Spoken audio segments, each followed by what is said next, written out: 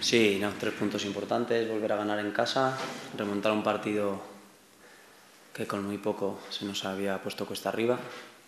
Y bueno, el equipo ha tenido paciencia, ha seguido trabajando. Ellos en la segunda parte sí que es verdad que tiraban alguna contra peligrosa, pero bueno, hemos conseguido remontar, hemos tenido alguna opción para hacer más goles, tanto antes de que se adelantaran como después, y lo importante es que hemos ganado y seguimos en buena línea. En el Oviedo no, nunca es el momento de, de decepcionar y menos jugando en casa. Es cierto que el club había hecho una campaña y un esfuerzo tremendo, regalando muchísimas entradas, una cosa muy poco habitual en el fútbol, y la afición ha respondido de una manera increíble, algo fuera de lo normal. Eh, jornada 37, 27.000 personas, eh, sin palabras.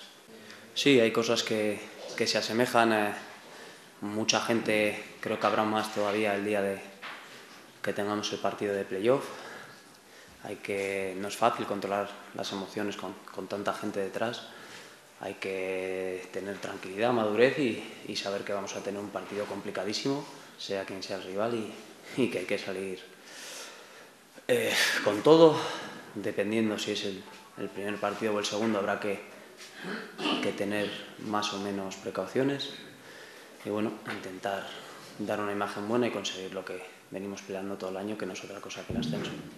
Sí, bueno, al final el playoff no es fácil dar una imagen buena en un partido de cuando contra campeón me refiero a imagen en cuanto a, a un fútbol vistoso. Se intentará hacerlo lo más vistoso posible, pero sin ninguna duda que lo más importante va a ser el resultado.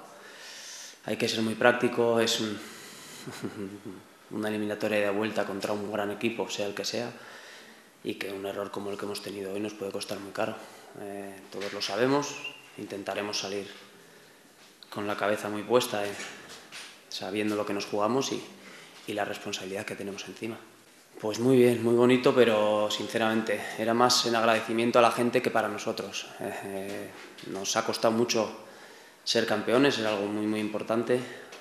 Era momento de dar las gracias a, a toda la gente que nos ha acompañado durante todo el año, tanto en casa como fuera, y a, esa gente que se ha podido sumar hoy para este partido.